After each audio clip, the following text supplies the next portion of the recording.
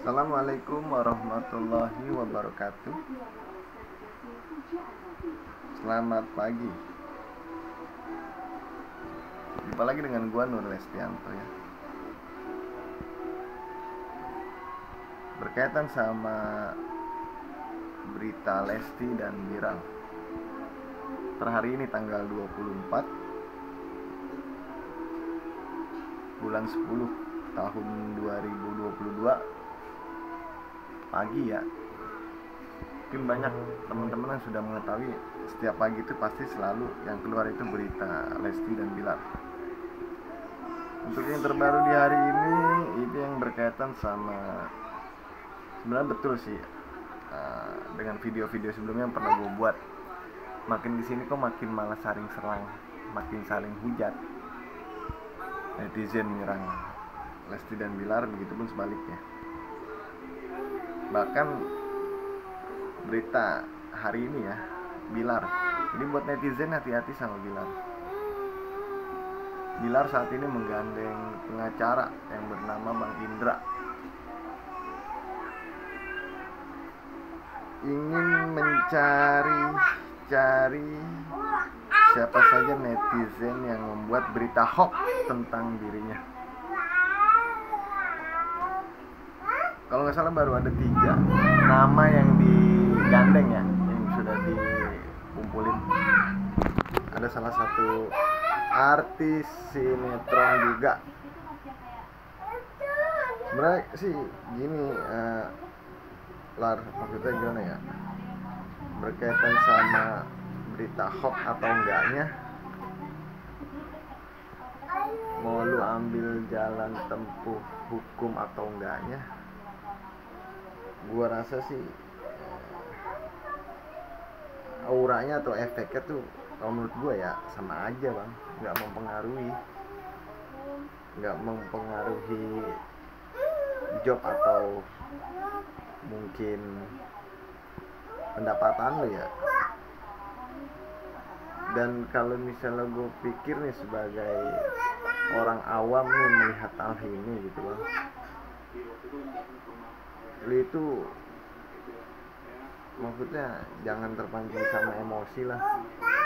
Karena kan lu public figure ya. Sebenarnya sih sebelum berita-berita lu juga kan banyak banyak lah maksudnya.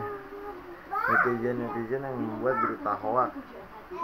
Nggak menutup kemungkinan dan dan nggak munafik dan mereka kan pasti mempunyai kepentingan ya. Yang berkaitan mungkin sama jam tayang siapa teman-teman yang siapa teman-teman yang yang atau netizen yang terlibat uh, mengupload berita hoax di YouTube ya.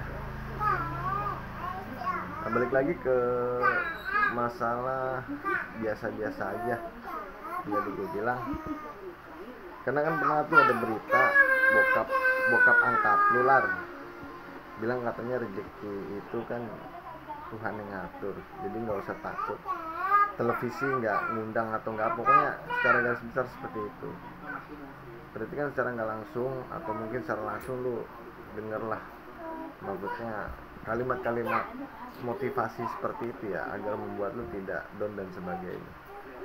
Padahal kemarin selepas daripada si Lesti ngangkat apa namanya mencabut laporannya sebenarnya dari situ sebenarnya lu tinggal waktu itu fokus aja di hari itu dan ke depannya apa nih yang mau lu bikin dan lu ya harus PR lu sekarang tuh bersama Lesti ya buat image yang bagus atau buat kepercayaan kepada publik gitu.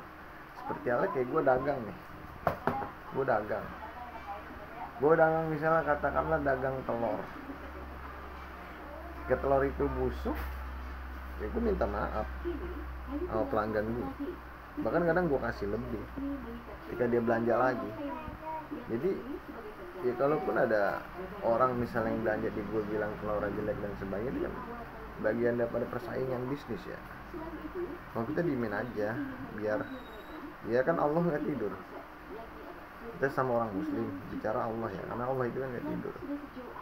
Kalaupun misalnya memang lu salah ya lu bagus. Kemarin gua apresiasi lu minta maaf ke publik dan sebagainya khususnya kepada keluarga Lesti dan Lesti pun minta maaf pada publik.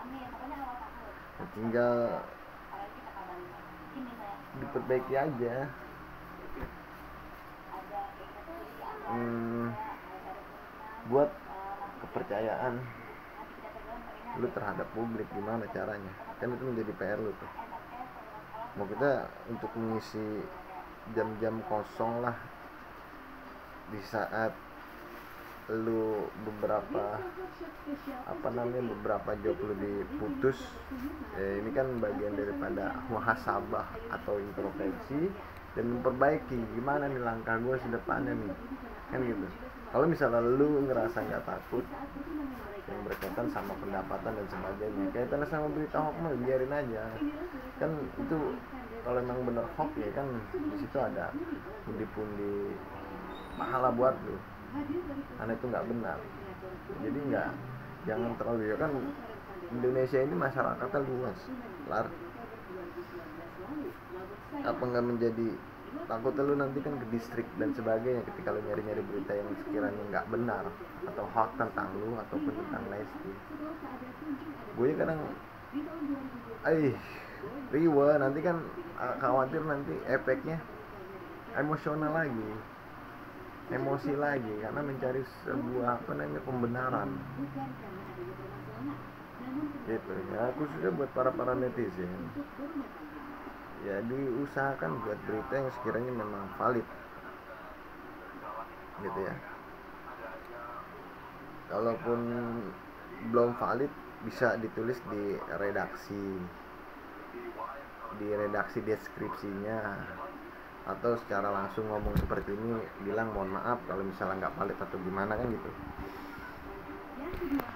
Karena kalau yang gue lihat orang-orang yang kasarnya ternama di NKRI aja melihat kasus seperti ini tuh sangat disayangkan. Ya, contohnya kayak Hotman Paris kan udah angkat bicara.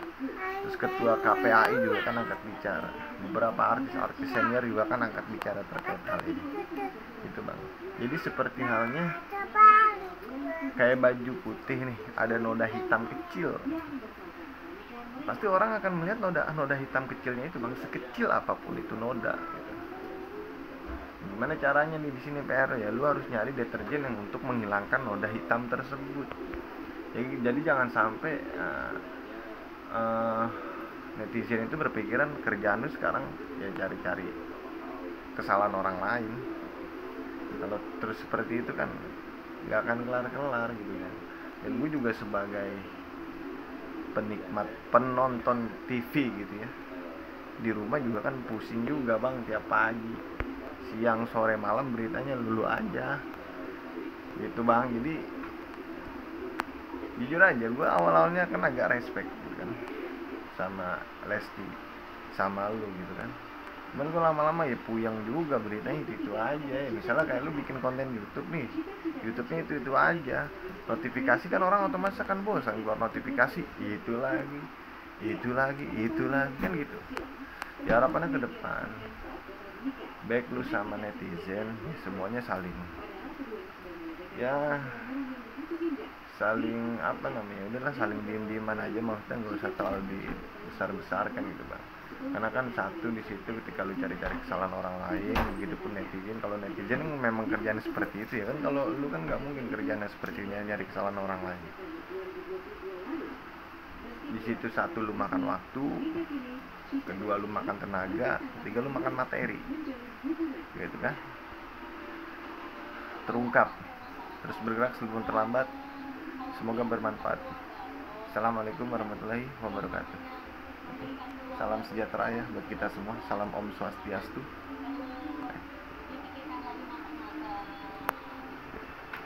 Tuh. Apa tuh beritanya tuh oh bukan. Tadi udah bang. Lu paling awal beritanya